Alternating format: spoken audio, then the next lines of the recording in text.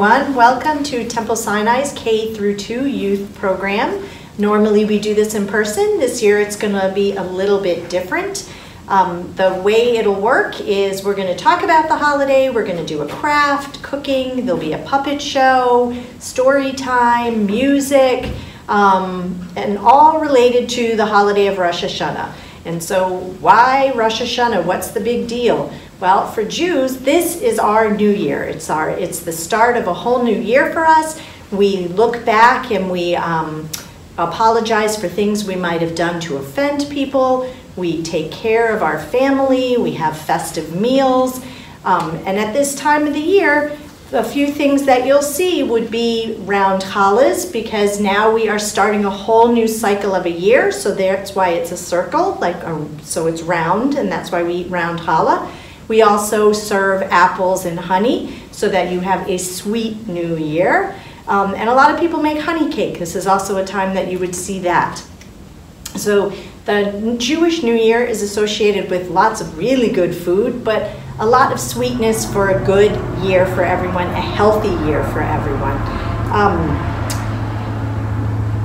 we also have um, a big part of the Rosh Hashanah service is blowing the shofar. And normally in person, this is our big K through 2 parade into the sanctuary, and we get to hear all the shofar being blown.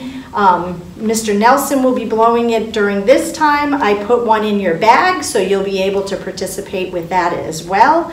Um, I don't know how many of you have already blown a real shofar. Here at Temple Sinai, we do teach shofar blowing classes because um, for the end of Yom Kippur, when we're in person, we ask the kids who have learned to blow the shofar to come on the bima and do the final blowing of the shofar, and it's a loud, loud, long blast. Um, so the shofar is a big part of Rosh Hashanah.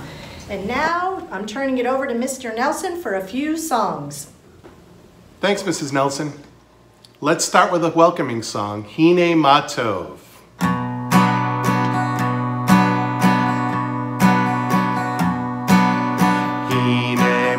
טובו מנעים, שבת אחים גם יחד. הנה מה טובו מנעים, שבת אחים גם יחד. הנה מה טוב, שבת אחים אחים גם יחד. הנה מצור שבת אחים גם יחד. Sing it with me. הנה מה טוב ומנעים שבת אחים גם יחד. חיים, שבת אחים גם יחד. הנה מה טוב ומנעים, שבת אחים גם יחד. הנה מה טוב ומנעים, שבת אחים גם יחד. הנה מה טוב, הנה מה טוב. Yadadadadadadai. Ine matov, ine matov. Yadarai, yadadadai, yadadai. We're to sing a song about apples and honey. Tapuchim udvash le Rosh Hashanah.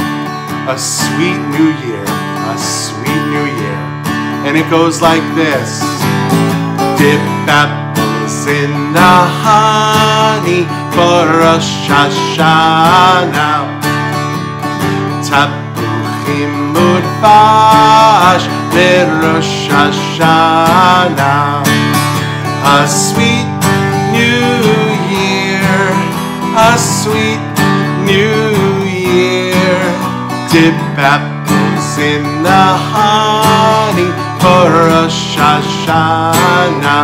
We're gonna try it together. Dip apples in the honey for Rosh Hashanah. Everybody, dip apples in the honey for Rosh Hashanah. Now the Hebrew, tapuchim udvash leRosh Hashanah. A sweet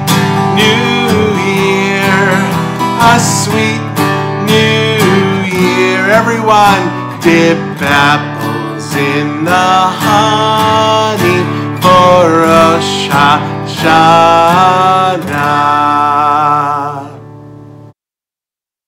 So in preparation for the holiday in our program, I'm going to read a book called Rosh Hashanah is Coming. And it's going to cover a lot of the things that we're going to be doing this morning. So, golden leaves fall, hear the geese call, Rosh Hashanah is coming. Crack the eggs, hear the sound, make this braided challah round. Rosh Hashanah is coming. Blow out, not too fast. Tekiah, will blast. Rosh Hashanah is coming. Crisp apples so sweet. Dip in honey and eat. Rosh Hashanah is coming. Scoop seeds from the skin. Juice drips down my chin. Rosh Hashanah is coming. Put on our new clothes. Striped tie. Dress with bows. Rosh Hashanah is coming. The candles burn bright as this day turns to night. Rosh Hashanah is coming. Down goes the sun. Join hands, everyone. Rosh Hashanah is coming. Together we cheer. Shana Tova. Happy New Year.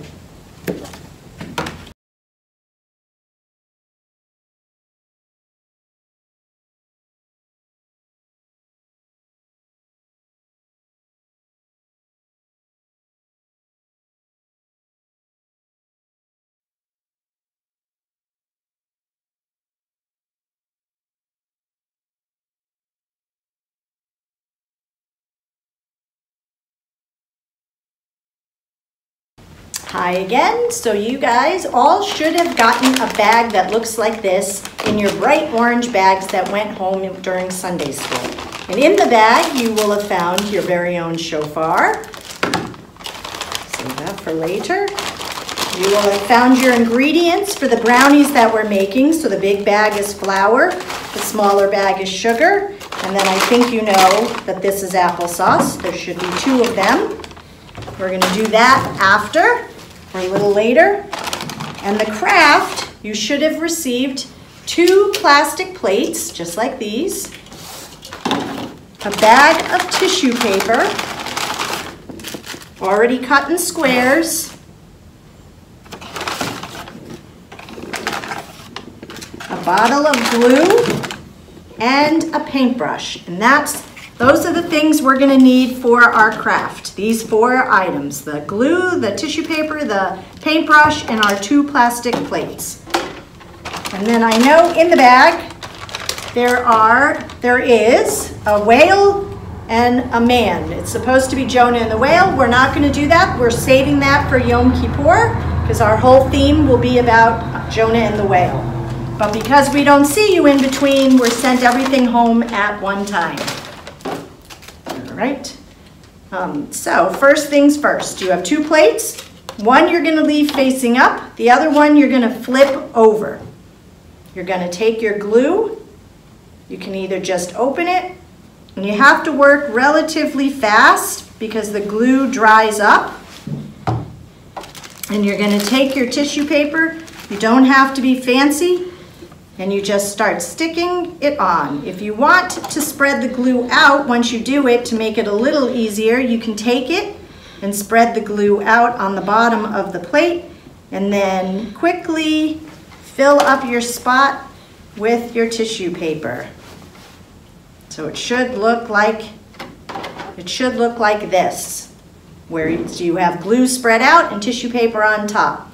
You're going to do that on the whole plate I'm not going to do this now because it takes a little while. So you're going to do that on the whole plate. And then once you've filled the whole round, not the rigidy area, but the round part, you're going to put glue on the top of this, the other plate and stick them together. And that, and what you'll see is a pretty design of tissue paper sealed between the two plates. And that would be your honey plate that you will put. Thanks, Mrs. Nelson. I hope everyone's having a wonderful time learning and singing. We're going to do a couple more songs here.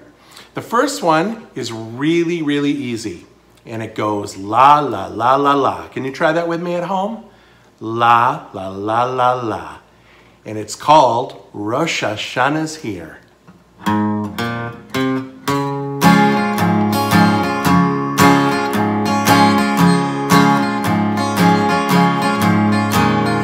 La la la la la.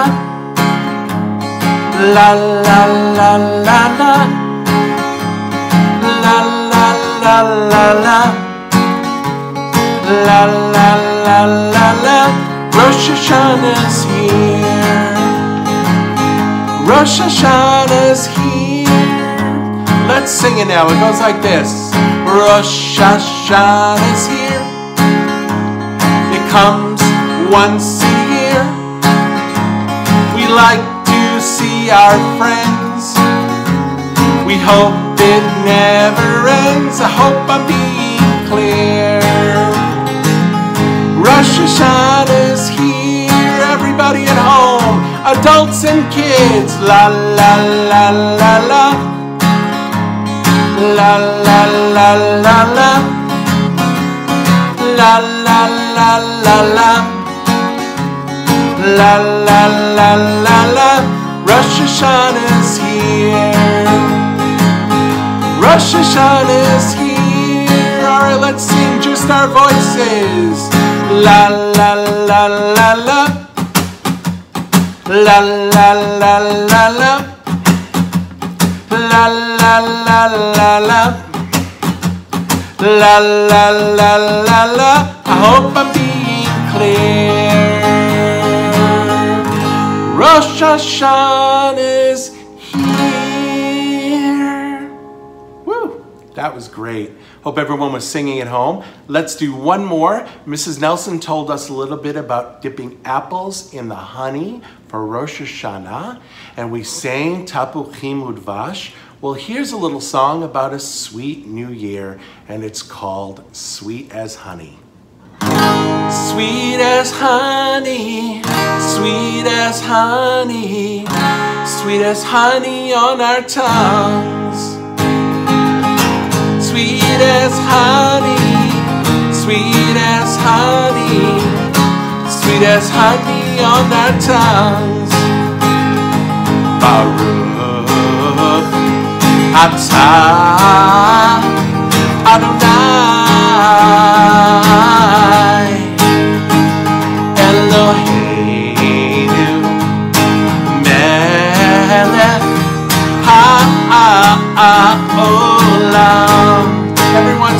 honey Sweet as honey Sweet as honey Sweet as honey on our tongues. Sweet as honey Sweet as honey Sweet as honey on our tongues. You try it with me. Sweet as honey Sweet as honey Sweet as honey on our tongues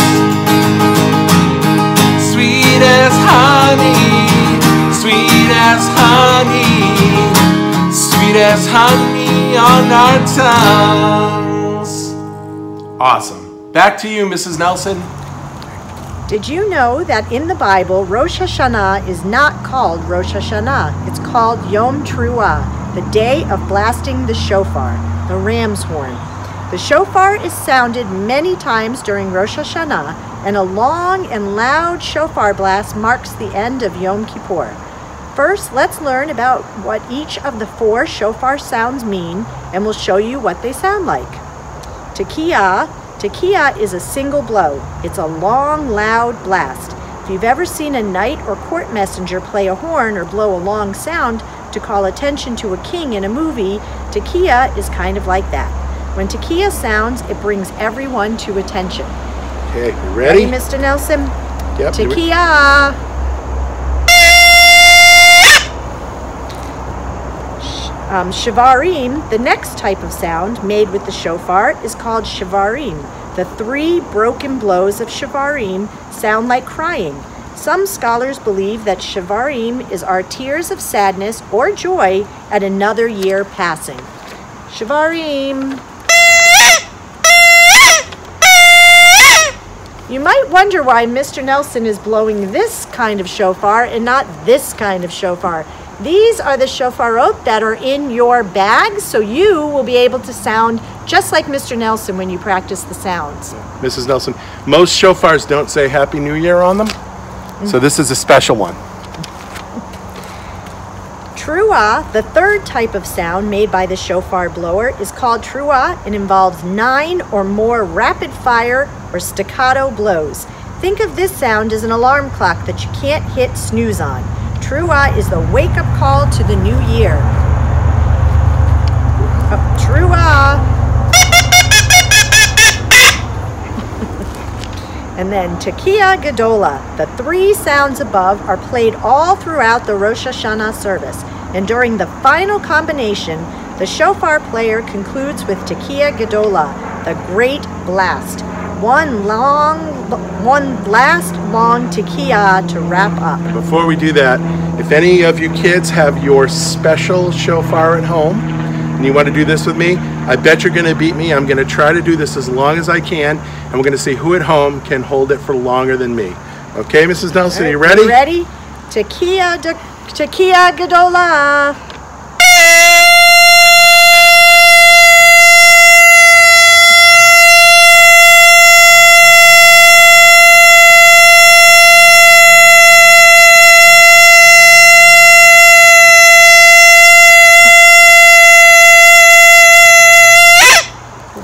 Wow!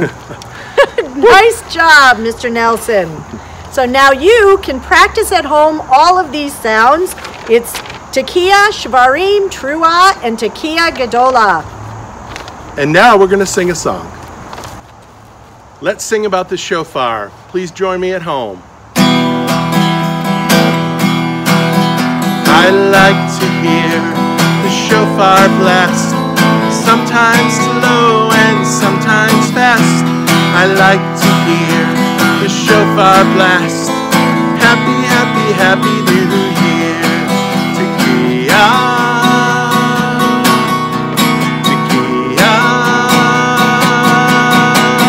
I like to hear the shofar blast, sometimes slow and sometimes fast.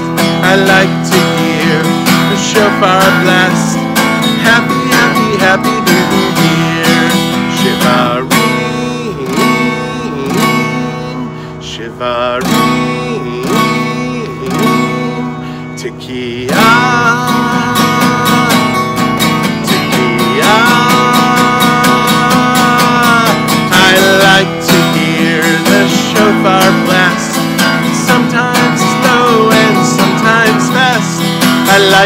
hear the shofar blast.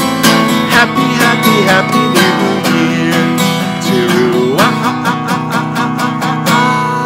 Teruah, Shivarim, Shivarim,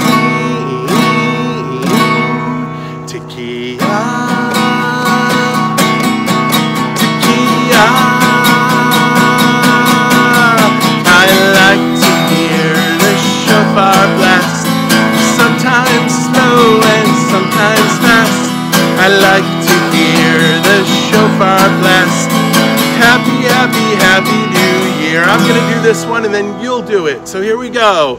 Tekiah Gedolah.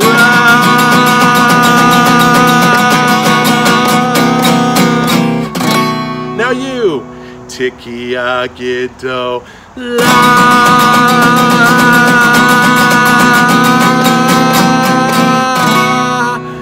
Great! I like to hear the shofar blast, sometimes slow and sometimes. I like to hear the shofar blast. Happy, happy, happy new year. Happy, happy, happy new year. Happy, happy, happy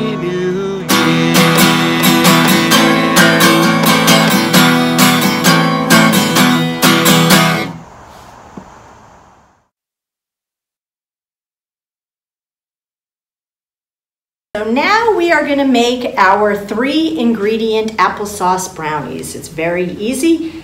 You're gonna, um, once you're finished, it will look like this.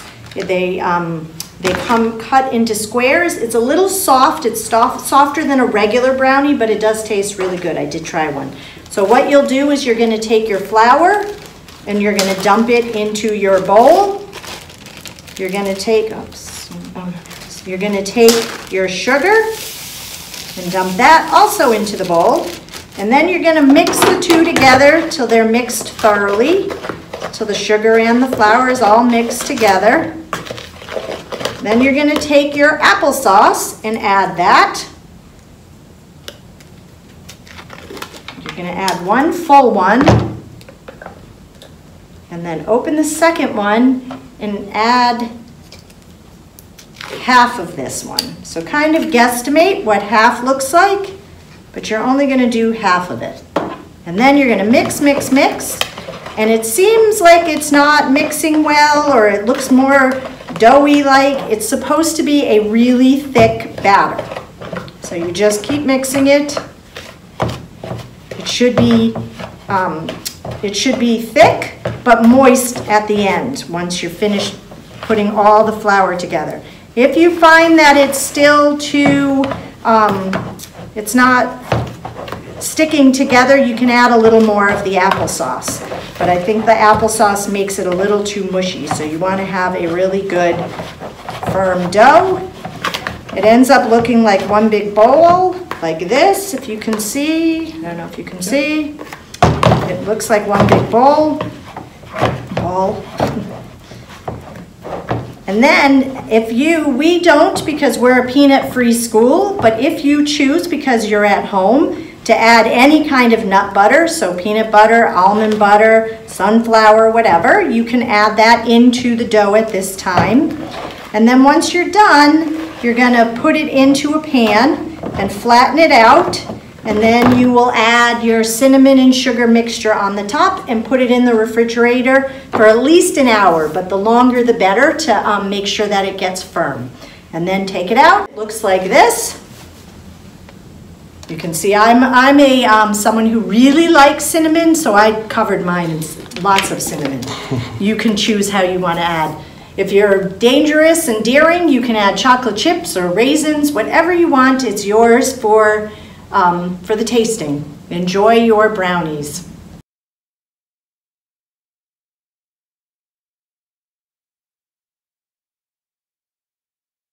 In preparation for our Tashlich puppet show, I'm going to read a Rosh Hashanah walk.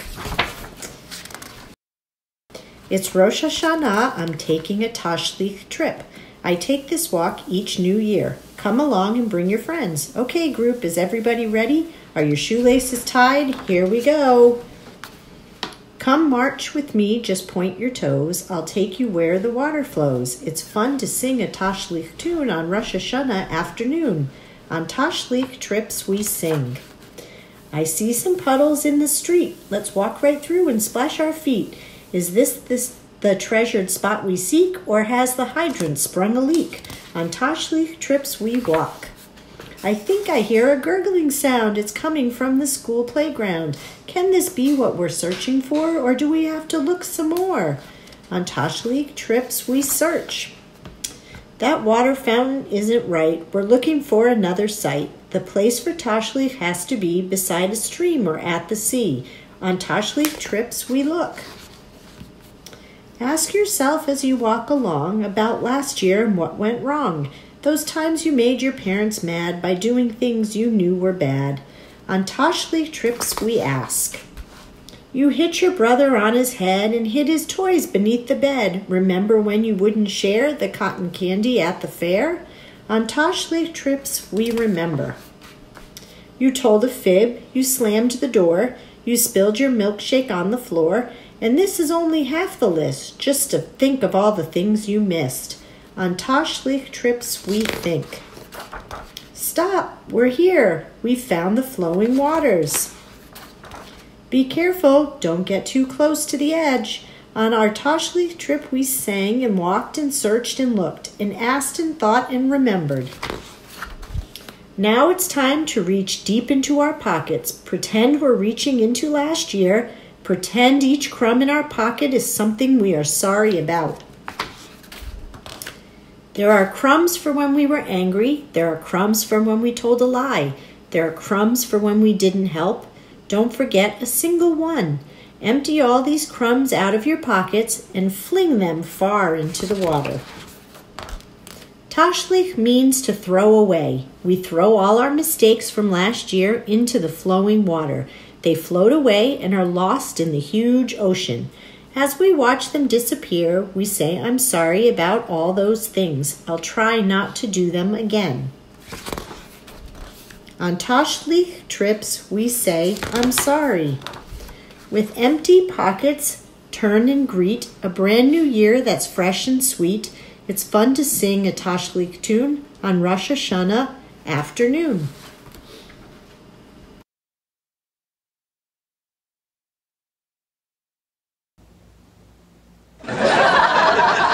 Hi, Elmo. What are you doing at the lake? Hi, Kermit. Just watching the fishies swim. What brings you to the lake today? And why do you have breadcrumbs? Well, Elmo, my favorite part of the high holidays, besides the apples dipped in honey, challah dipped in honey, and my fingers dipped in honey, is Tashlich. Leaf? What is that? I never heard of that. Well, Tashlich is when we think about the things we did that might have been wrong in the past year, Elmo, and then we throw them away with a promise to try harder in the next year. We go to a body of water like this, where the fishies are, on the afternoon of Rosh Hashanah and throw breadcrumbs into it, which washes away all of our not so great things we did the last year. The Jewish New Year is a time for us to look inside ourselves. Inside ourselves? Yes, Elmo, and take an honest look at the past year. We notice what things we need to improve on and decide how we're going to work on them. The breadcrumbs symbolize the things that might not be so good, that we can improve upon in the coming year. We throw them away, taking a few crumbs to Tashlich from whatever old bread is in your house. Oh, Elmo has some suggestions for types of breadcrumbs to use. Okay, uh, what are some of your suggest- suggestions, Elmo? Well, for helping making good decisions, we can use waffles. for trying not to rush as much as we can, we use matzah. when we feel we weren't brave enough, we use milk toast. For times when we were grumpy, we can use sourdough. for remembering not to litter, we can use dumplings. and for singing a little out of tune in religious school music with Mr. John Nelson, we can use flatbread. Hilarious, Elmo, but do you want to hear an important and serious prayer about trying to do better in the coming year? yeah, I sure would. Okay, God, I try to be good, but sometimes it's hard. Sometimes I get a little upset and may say something that isn't nice or a little bit mean. But I want to be good and kind and helpful and thoughtful. And I do try, and I know I can try harder. Nobody's perfect, but I do want to be better. So please, God, for next year, help me do a little more on the good side and a little less on the not so good. That was wonderful, Kermit. I loved that. Thank you, I had one year in rabbinical school. Trying harder to be better kids is something we can all work on, right? How about you kids at home? What can you work on? I really like Tashlich. It makes me feel good, and I know I can always try harder during the new year. But Kermit, what about the fishies? If we throw bad things in the water, won't the fishies get sick? No, Elmo, the breadcrumbs are just a symbol of the things we want to throw away. It doesn't harm the fish. In fact, we can't give the fishies too much or their bellies get too full, see? So we just throw a little, we cast away the things we want to do better on. Thanks, Kermit. Elmo counted five things that Elmo can be better on this year. So I'm gonna throw five breadcrumbs. One, two, three, four, five. Not too much so the fishies don't get too full. Sounds good, Elmo. Hey, why don't we turn it over to Mr. John Nelson for a song we can sing at the end of Tashlich? Yeah! Thanks, guys. That was a great puppet show. I learned a lot about Tashlich, and I think we learned a lot at home as well. I also really liked the book that Mrs. Nelson read. It was really interesting, and I hope you got a lot out of it at home. We're going to sing Avinu Malkeinu now, which is a very important prayer during the high holidays. It asks God to be good to us, to be gracious to us, and to help us. And it goes like this.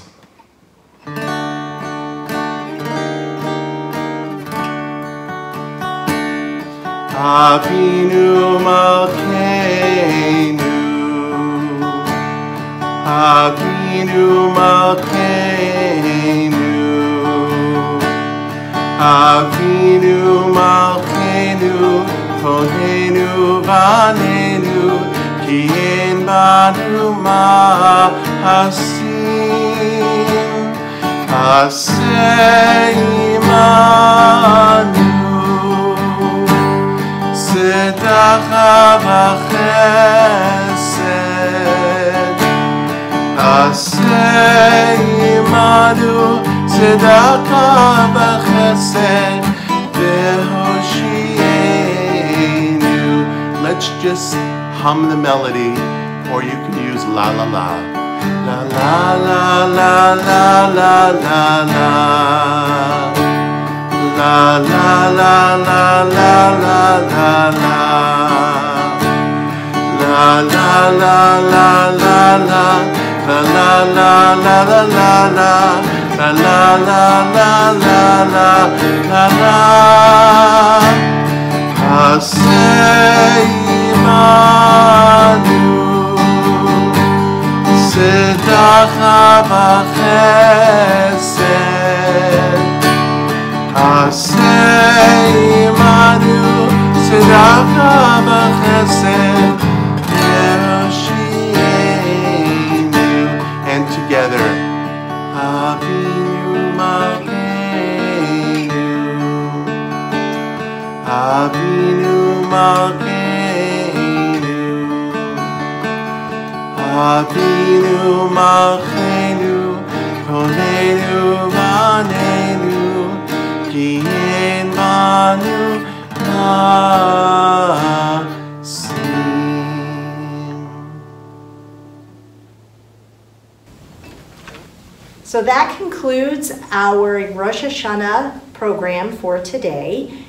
Looking forward to Yom Kippur, which happens 10 days from now. We will be back together, and our theme will be Jonah and the whale. But the focus for you guys, your homework for the next 10 days, is to try and, and say sorry for all the things that you might have done over the last year. Apologize to your parents, apologize to your brother for hitting him or your sister for taking their toys. Whatever it is, spend the next 10 days trying to ask forgiveness and start to look to do things better for the next year. Shana Tova. And now we'd like everyone to sing with us Lashana Tova Tikatevu. Here we go. Lishana Tova Tikatevu. Lishana Tova Tikatevu. Tikatevu. Tikatevu. Let's sing la la la together, everybody. La la la la la la la la la la la la la la la la la Tikatevu Tikatevu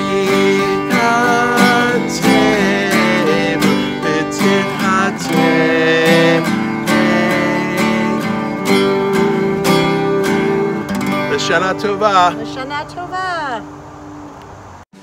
when I got up today, I really had to say